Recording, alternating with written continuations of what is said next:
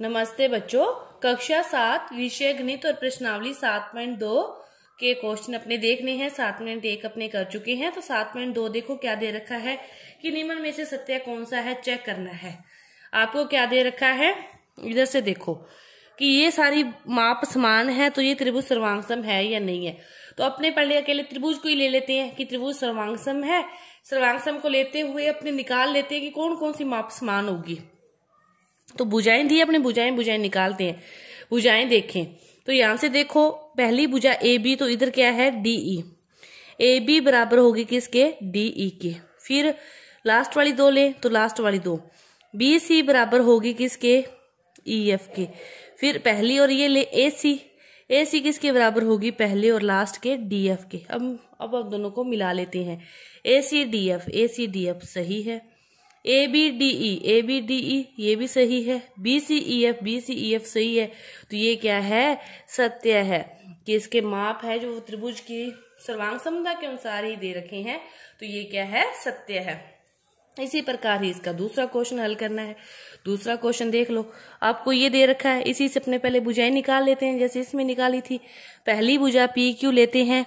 तो इसकी पहली बुझा क्या आएगी? एक्स वाई इसकी लास्ट वाली दो लेते हैं क्यू आर तो इसकी लास्ट वाली दो क्या आएगी?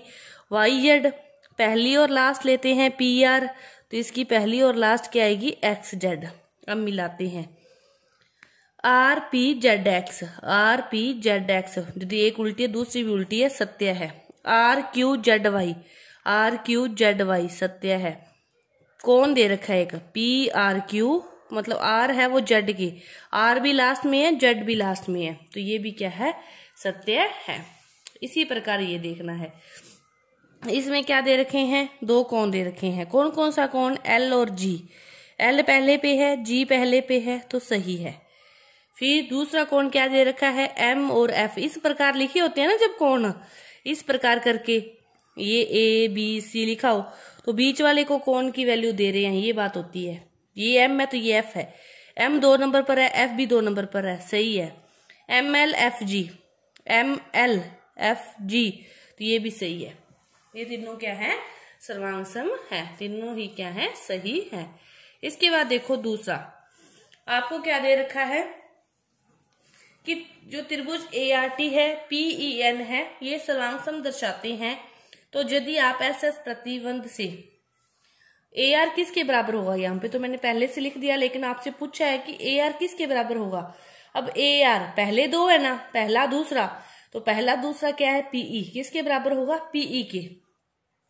आर टी पहला दूसरा और तीसरा दूसरा तीसरा क्या है? ई एन के।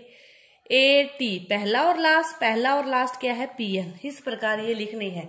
इसके बाद देखो आर टी पूछा है। आर टी किसके बराबर है? ई एन के। पी एन पूछा है। P N. पहला लास्ट पहला लास्ट क्या आ गया? ए टी इसके बाद देखो A T equal to P N है। A T equal to P N है।